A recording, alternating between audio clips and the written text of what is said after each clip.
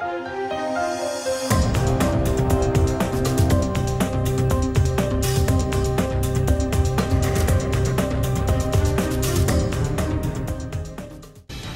6:17 p.m. We are continuing to track a potent winter storm across southwest portions of the state. We're back at 6:13 a.m. What an incredible sunrise in Glacier National Park. And then we head into your Thursday. If you like the warm temperatures, Thursday is the day to get outdoors. We are in the 70s and even low 80s. This is one of the stronger ones that we're tracking at this time, and it is just off to the west of Dillon. So it'll be moving through Dillon here in the next 10 minutes. But it's not just southwest Montana. Look at this, northwest portions of the state. There's a marginal risk for excessive rainfall. This includes places like Kalispell, not only for today, but for tomorrow as well. If you're wondering when our next chance for some snow showers are, maybe you're a skier snowboarder, you want to get up to Snowbowl like I did yesterday when I took this video, we do have another shot heading into your Saturday, but beyond that, there's not a whole lot in the forecast. It's not really the amount of snow that I'm concerned with. It's the rate at which the snow is falling combined with those gusty winds. I want to get a little bit closer here. There is the potential for a little bit of small hail. This is kind of in the Four Corners area just north of Gallatin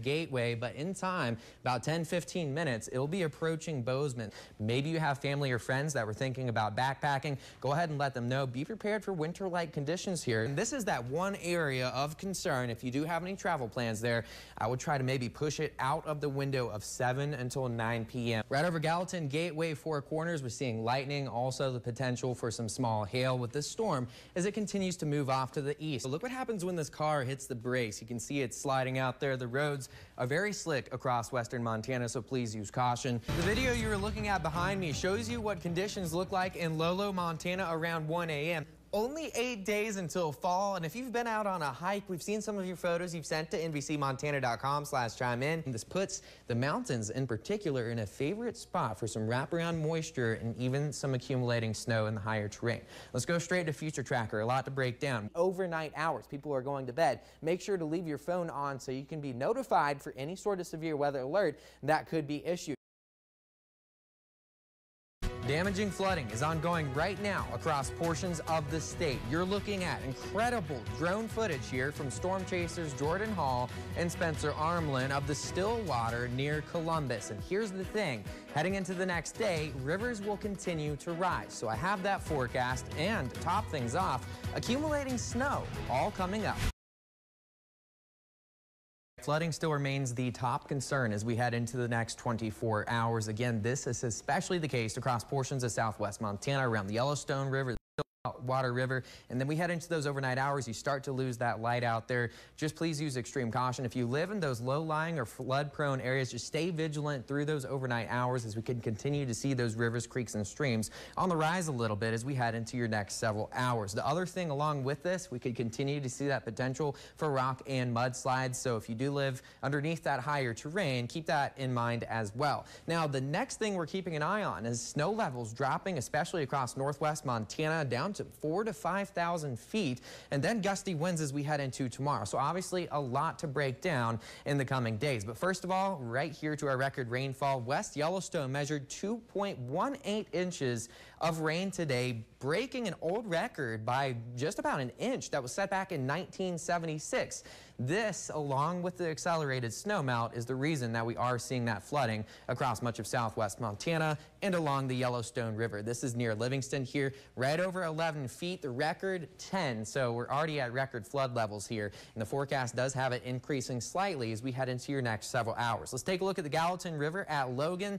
Right now, just over 9 feet. That's in the minor flood stage, but it will be in the moderate flood stage, right around 10 and a half feet by the time we head into tomorrow afternoon. So again, that's the Gallatin River at Logan. Now let's focus in on the Flathead River at Columbia Falls. We're already in the minor flood stage over 14 feet. About 14 and a half feet is that forecast in the coming days. So let's go straight to Future Tracker. Again, still looking at scattered showers. That atmospheric river that we had pumping all the moisture into our region has really not been the primary influence today. What we have instead is a trough of low pressure across the area, and this is keeping precipitation going, especially in the higher terrain, but bringing in cooler temperatures. So that's why you're seeing snow pick up here on Future Tracker by the time we head into tomorrow morning, especially in the Glacier National Park region. We have wraparound moisture from the low pressure system off to our north and east, and this means Snow levels dropping to around 4 to 5,000 feet in that area. So Marias Pass looking at up to a few inches of snow there at least. So if you do have any travel plans,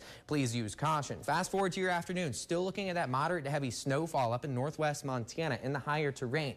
Maybe you have family or friends that were thinking about backpacking. Go ahead and let them know. Be prepared for winter-like conditions here. Snow levels are dropping to around 4 to 5,000 feet. Fast forward to tomorrow evening, really just looking at a few lingering showers, a quick shot at a little bit more mountain snow as we head into your Wednesday morning, but then things really start to clear out across western Montana. But with that snow, winter storm warnings and winter weather advisories are in effect. Let's break those down. Winter storm warning for West Glacier from now until 6 a.m. for your Wednesday. Above 5,000 feet, 3 to 8 inches of snow. Above 6,000 feet, up to a foot and actually above 7,000 feet up to two feet of snow. So that's on those taller peaks within Glacier National Park.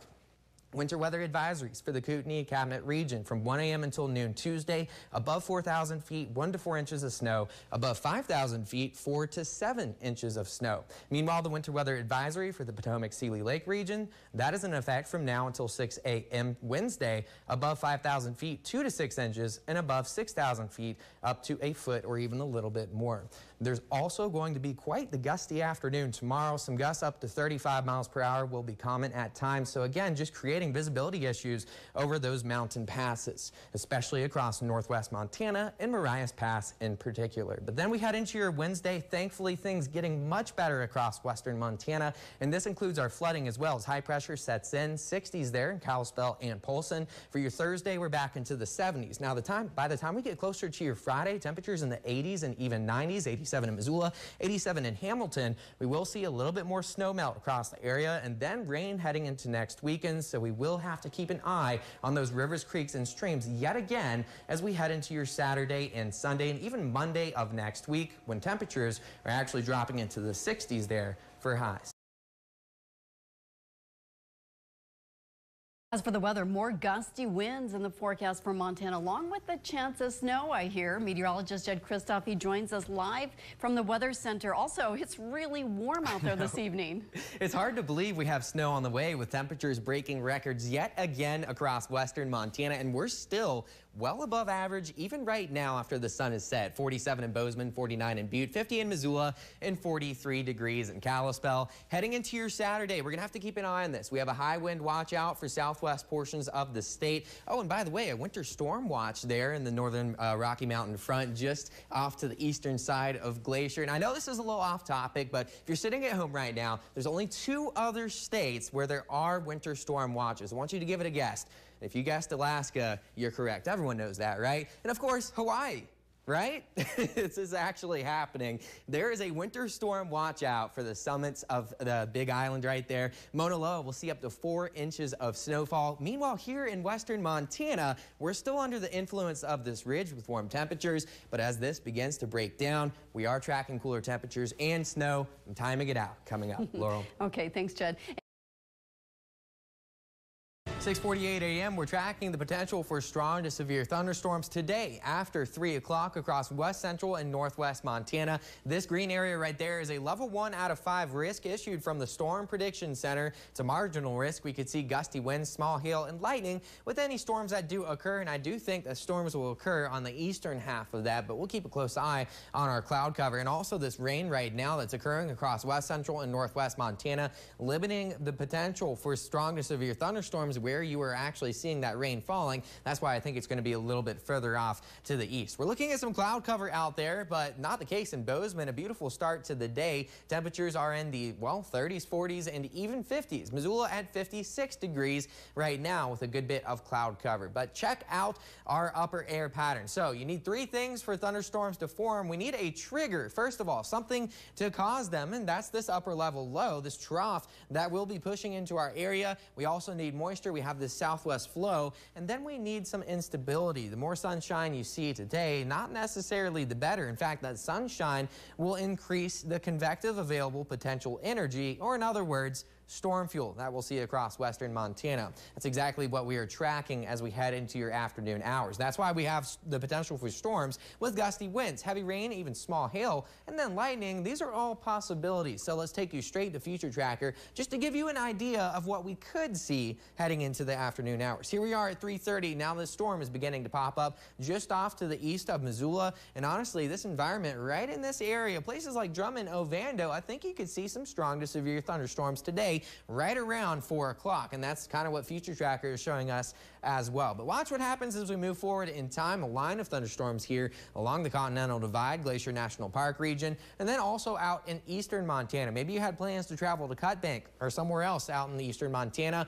That's where I think the threat for severe storms will be the highest. And actually, I can't rule out a couple of tornadoes in places off to the east like Havre, but for us here in western Montana, we're mainly just tracking gusty winds, heavy rain, small hail, and frequent lightning. Now, I want to show you one other thing. Fast forward to those overnight hours. So I'm talking 2.30 in the morning we have the potential for a strong thunderstorm or two right here in the Flathead Valley, pushing up north towards Kalispell, Hungry Horse, Glacier National Park. Certainly looking possible. Not a huge deal, but certainly could also wake you up with a clap of thunder. But honestly, switching gears here, we are tracking just showers pretty much all day Thursday across western Montana.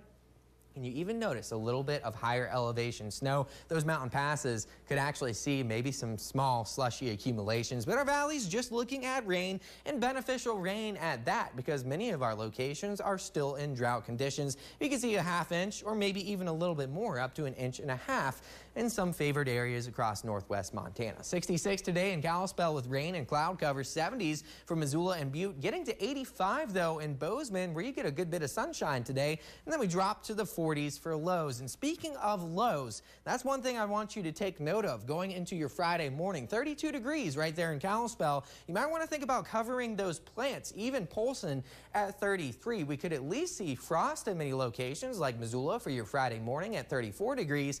But the good news news is this is just a one day thing because as we head into the rest of your seven day forecast, those lows are mainly in the 40s and 50s. And check out the highs. We're into the 80s this weekend and even the 90s. By next week, it looks like we will, in fact, be warming up yet again. So I know I've said this all morning long, but this is quite a roller coaster ride. Yeah, it's already been pretty dynamic this morning, That's right. We've been tracking showers and downpours pretty much all morning long. All right, and you all know that Jed took two days off uh, last week. Uh, see, the deal, Jed, of taking a day off is to get away from weather. Yeah, but no, you go storm chasing.